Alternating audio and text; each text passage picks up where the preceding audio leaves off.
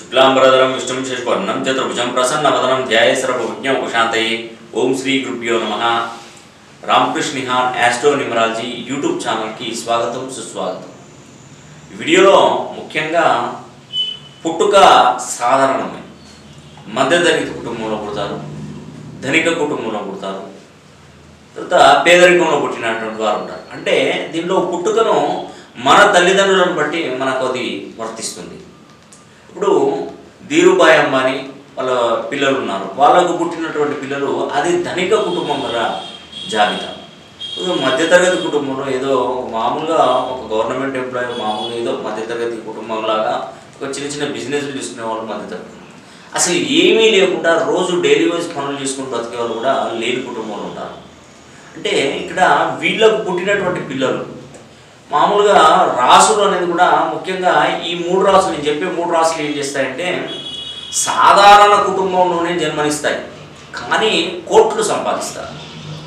మరి సారేంటి ఎప్పటికీ ఏదో విధంగా మమ్మల్ని ఏదో రేంజ్లోకి తీసుకెళ్తున్నాడు అని మాత్రం అనుకోకూడదు. జరిగే వాస్తవం అది. జరగబోయేది అదేనండి. నేను ఇప్పటి వరకు నా ఇరవై రెండు ఇరవై మూడు సంవత్సరాల చరిత్రలో నేను ఎంతో మంది ఎన్నో లక్షల మందికి కూడా కరెక్షన్ ఇచ్చాను. నేను చాలామందికి భవిష్యత్తు అనేది కూడా ఈ విధంగా ఉంటుందని చెప్పాను. ఆ ప్రకారం నడుచుకుంటాను ముఖ్యంగా మిమ్మల్ని మీరు తక్కువ అంచనా వేసుకోకండి. మనిషికి ఏదో ఒక పవర్ ఉంటుంది. ఏ పవర్ అంటే మామూలుగా ఒక ఒక అతనికి మంచి క్రీడాకారుడు అతనికి దాని పట్ల కళల పట్ల అవగాహన ఎక్కువగా ఉంటుంది. తను ఒక స్థాయిలో సెలబ్రిటీగా హోదాగా వెళ్ళిపోతాడు.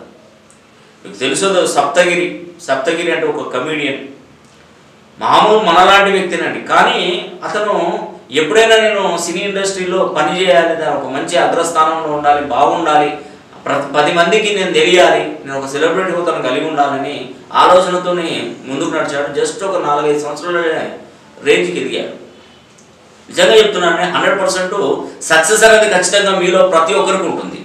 ఆ సక్సెస్కి రావాలంటే నేను ఒకటే చెప్తున్నానండి మన పేరులో ఉన్నటువంటి బలాన్ని మనం మార్చుకోవాలి. దానికి దీనికి లింక్ పెట్టకండి అసలు మా జీవితం ఏందో చెప్పండి అని కూడా వాళ్ళు చాలామంది అంటారు. కానీ ఒకటి కావాలన్నప్పుడు దానికి అనుకూలంగా మనం మా మరలాలి. ఇప్పుడు ఉదాహరణకి మన ఇల్లు ఒక ఈస్ట్ ఫేస్లో ఎక్కడో ఒక విలేజ్లో ఉందనుకోండి. మన ఆ విలేజ్కి పోవాలంటే మనం ఖచ్చితంగా ఆ దారి వెంబడే పోవాలి కానీ ఇది ఈస్ట్ ఉంటే మనం నార్త్కి వెళ్ళామనుకోండి మా ఇంటికి వస్తుందా? ఇల్లు రాదండి ఎన్నటికీ రాదు.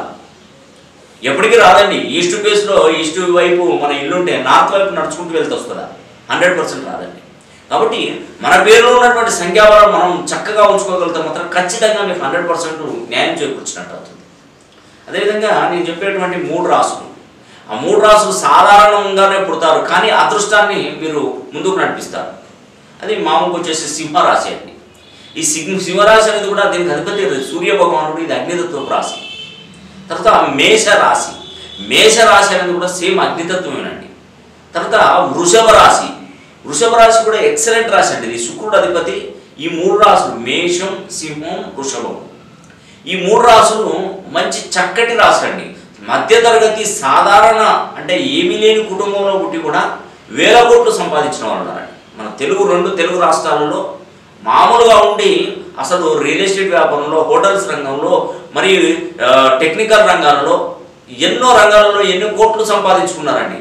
చాలా ఎక్సలెంట్ అంటే నేను చూ అంటే వాళ్ళ జీవిత చరిత్ర విన్నప్పుడు చాలా అంటే ఇప్పుడు ఒక వ్యక్తి గురించి తెలియాలంటే వాళ్ళ విలేజ్కి వెళ్ళి అడగాలి వాళ్ళ జిల్లాకి వెళ్ళి అడగాలి. తెలిసిపోతుందండి. అలా నా దగ్గరికి నాకు అంటే నేను చూస్తున్నది ఏంటంటే నా దగ్గరికి ఎక్కడెక్కడ నుండి వస్తున్నాడు?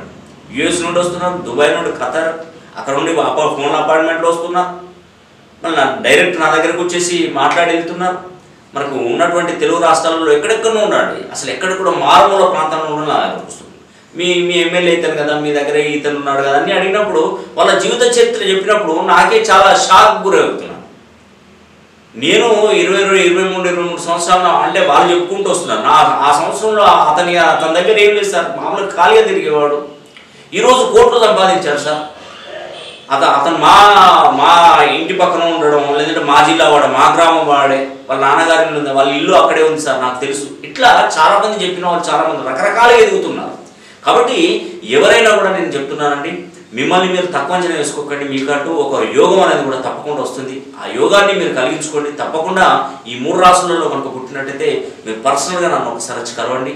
హండ్రెడ్ పర్సెంట్ మీకు న్యాయం చేస్తానని కూడా ఈ వీడియో ద్వారా తెలియస్తున్నాను ఈ వీడియో కనుక మీకు నచ్చినట్టయితే లైక్ చేయండి షేర్ చేయండి అదే కామెంట్ చేయండి. సర్వే జన సుఖినో